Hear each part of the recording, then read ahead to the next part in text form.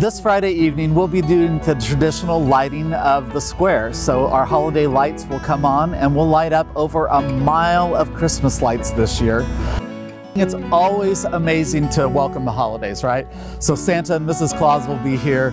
Um, lots of kids will be here, and so that joy that is a part of a, a lighting is already upon us. Uh, performances from Truman High School's True Tone singers, um, the area Dance Studio 3V, uh, they'll be here doing um, their dance productions, and it's really exciting this year.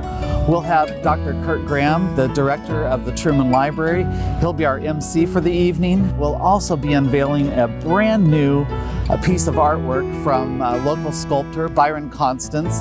And Byron is um, going to be uh, helping us unveil a new Truman statue that will be permanently installed here. The Independence Square Association commissioned Byron to create a statue for us that would help tell a different part of uh, President Truman's life.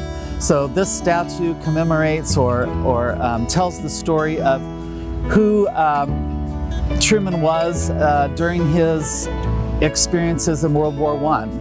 Well, I, the statue to me is very, very special. Um, it brings a new piece of art.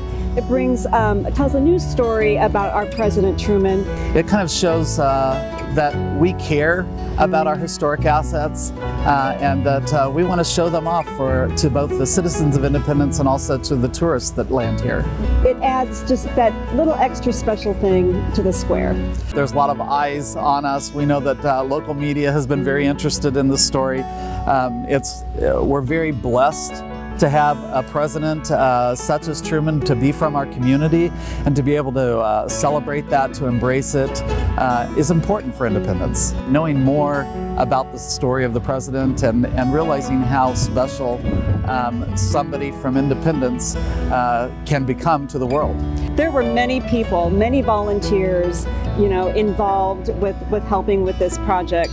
So it, it's really been a community effort um, to bring the, the statue to the point that it's at. Several new businesses have opened up in the last year or so.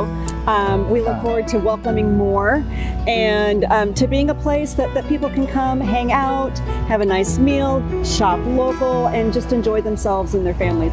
Um, we're, we're lucky to have such a, uh, a community that's, that's supportive of each other and of uh, the larger uh, community of independence.